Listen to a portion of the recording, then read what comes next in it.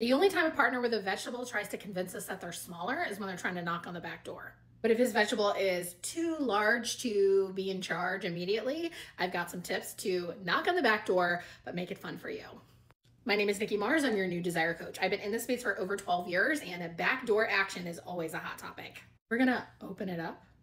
But remember, this is for educational purposes only. Tip number one, you need a good silicone based lubricant because the molecules in silicone are too large to soak in to the starfish. Skin is porous, so we don't want to use, uh, and we definitely don't want to use a water base, which will soak in as well. Tip number two, don't be in this pose. When you do that, you are tightened up all over your body. The best thing to try when you're first starting out is to lay on your side.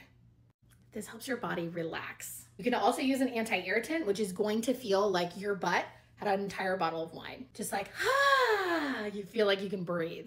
Finally, you want to use something that can help you stretch down there. Stretching exercises beforehand can make the moment a lot more fun. This is the stimulator. It also vibes. It's very intense. Plus, the shape of that rose is going to send those vibes through your butt cheeks all over the place. And if they're going in the front door and they're putting pressure on this, it feels fantastic all the way around. I've linked all of these tools over here for you in my clickable shop, but if these tips were helpful, don't forget to follow along for more.